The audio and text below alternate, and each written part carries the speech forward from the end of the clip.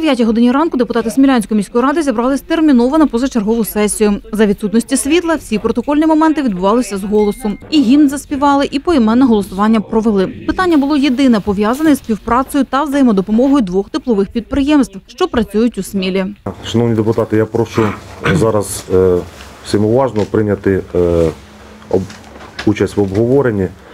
Питання, яке виноситься про надання згоди комунальному підприємству Сміла Комунтеплоенерго на вчинення правочину. Держава передбачила різницю в тарифах для теплопостачальних підприємств нашого міста і не тільки міста, для всіх теплопостачальних підприємств, в тому числі і Сміла Комунтеплоенерго і Сміла Енергопромтранс.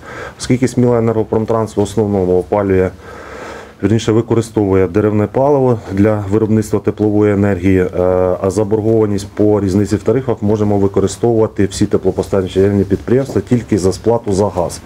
Підприємства 22 мільйона різниці в тарифах підтвердженої обласною територіальною комісією, але за газ такої наявної заборгованості немає. В нашого комунального підприємства присутня заборгованість, поточна заборгованість за газопостачання, тому є можливість зробити договір переуступки боргу з ТОВ Сміла Енергопромтранс на е, КП Сміла Комунтеплоенерго. Цим самим е, ми закриваємо різницю в тарифах для нашого КП Сміла Комунтеплоенерго.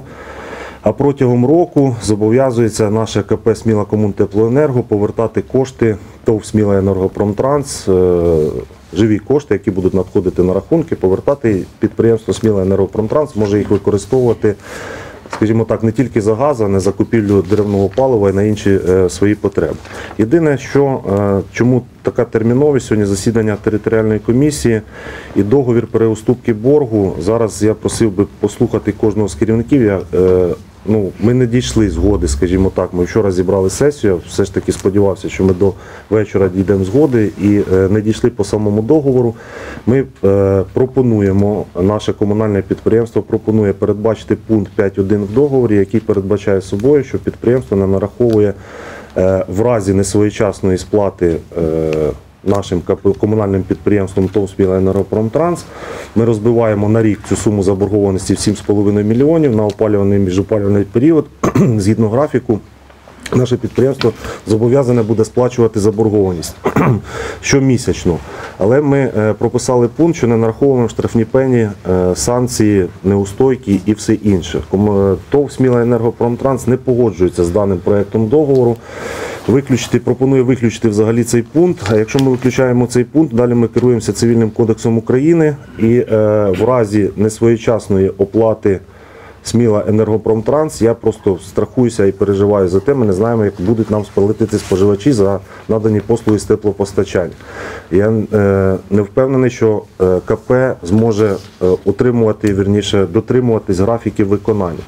Я з Володимиру Федоровичу, е, керівнику ТОВ «Сміла Енергопромтранс, говорив і при всіх депутатів, і на телебачення скажу, що це наше комунальне підприємство. В разі, якщо навіть наше комунальне підприємство не буде дотримуватися графіків сплати і е, не сплатить за якийсь місяць, ми зобов'язуємося. Ми на себе беремо як міська рада. Я як очільник міської ради, ми на себе беремо, що ми надамо поворотну або безповоротну фінансову допомогу, і наше комунальне підприємство в 2023 році 100% закриє заборгованість, якщо буде така заборгованість перед ТОВ «Сміла Енергопромтранс». Але згідно е, фінансових результатів нашого комунального підприємства, якщо навіть ми будемо отримувати е, е, плату за послуги з теплопостачання на рівні минулого опалювального періоду, підприємство само зможе розрахуватися. Це не така велика і значна сума. Це взаємовигідний договір, скажімо так, і для нашого комунального підприємства, тому що 7,5 мільйонів ми можемо отримати сьогодні і сплатити за газ, і е, е, розраховуватися протягом року. Але я переживаю за штрафні пені і санкції, тому що Оксана Іванівна, ви поправите мене. Е, Якщо ми не дотримуємося графіку, для прикладу, в січні не заплатили, ну мало, мало лі, не заплатили нам споживачі січень, місяць, місяць для всіх. Ми знаємо, і споживачі проплати відсоток невеликий. Нам, згідно з закону, з цивільного кодексу, підприємство ТОВ «Сміла Енергопромтранс» має право на нарахування штрафних санкцій і пень. Тому Федорович е, стоїть на своїй позиції виключити цей пункт. Я стою на позиції комунальне підприємство е, мене просить стояти на позиції залишити цей пункт. Ми пропонуємо залишити все-таки цей пункт. Федорович, ви погоджуєтесь чи ні? Ну я вам на телебачення при всіх депутатів, я думаю, е, кожен з депутатів підтвердить. Якщо в разі що, ми зобов'язуємося сплатити за 2023 рік. Якщо навіть комунальне підприємство не сплатить, ми підставимо завжди плече і е, розрахуємося з місцевого бюджету, якщо не сплатить наше КП. Та керівництво ТОВ «Сміла Енергопромтранс» не погоджувалось на підписання договору без пункту про сплату штрафних санкцій за просрочку. Ми вивчили практику. Ми вважаємо, що цей пункт є нікчемним. Абсолютно. Ні до, ні до кого, ні до чого не зобов'язаний. Судова практика говорить, що все рівно є випадки, є витяги, лист попрацював. Все одно цей пункт скасовується в судовому порядку і все одно штрафні е, пені нараховуються. Ми в одному місці знаходимося. Я рахую, що це не є предметом обговорення. Тим більше, що ми запропонували, що ввести додатковий пункт, що сторони мають право ініціювати зміни до графіка е, погашення заборгованості і до умов оплати, якщо виникли, якісь трудності. Я теж обіцяю, що ми підемо на зустріч. Ми отримуємо наше підприємство різницю в тарифах, і вони отримують різницю в тарифах. Тобто вони зараз в скрутному становищі знаходяться, і щоб їм допомогти, ми робимо цей крок їм на зустріч, щоб ці кошти отримати, а вони нам якісь додаткові умови виставляють. А, ну, Ну так виходить. Тобто ми питаємося їм допомогти, а вони від, від нас щось вимагають. Так? В договорі жодних штрафних санкцій не передбачаємо. Що таке штрафні санкції, про яке озвучить? Це стаття 625 Цивільного кодексу, а саме інфляційні втрати за невчасний розрахунок і 3% річних. Відповідно до судової практики господарського суду Верховного господарської палати передбачено, що дана норма і так буде нікчемною, бо не можна від неї відмовитися, оскільки вона імперативно і вона все одно нараховується, ці інфляційні втрати. Але це знову ж таки це право е, кредитора нараховувати і стягувати, якщо буде необхідно, а не обов'язок. Його не потрібно навіть визнавати, він автоматично є нікчемним. Навіщо Ну, то в чому питання? Але ж, але, але ж у нас є юридичний відділ. Ну, в чому ми, питання? е, ну, коли голосуємо, ми відповідно до рекомендацій посилаємось нашого юридичного відділу. Тобто я так розумію, що зараз ми робимо крок вам на зустріч. Якщо у вас є якісь там юридичні питання, вивчіть їх з нашим юридичним відділом. Ніхто не збирається кинути ТОВ «Сміла енергопромтранс». Хочеться зробити взаємовигідні умови для ТОВ, для КП, для міста, для держави, отримати з держави 7,5 мільйонів. Для міста. Я не зараз не розмежовую КП, міську раду і е, ТОВ.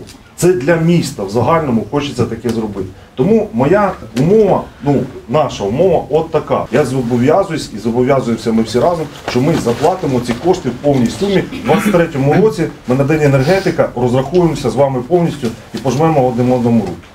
В результаті обговорення сторони все ж досягли порозуміння. Присутні депутати одноголосно підтримали рішення про надання згоди комунальному підприємству «Сміла Комунтеплоенерго» на вчинення правочину, тобто про переуступку боргу. Керівники двох теплопостачальних підприємств підписали відповідний договір. На завершення все ж керівник приватної теплопостачальної компанії вирішив звернутися до депутатів та громади міста.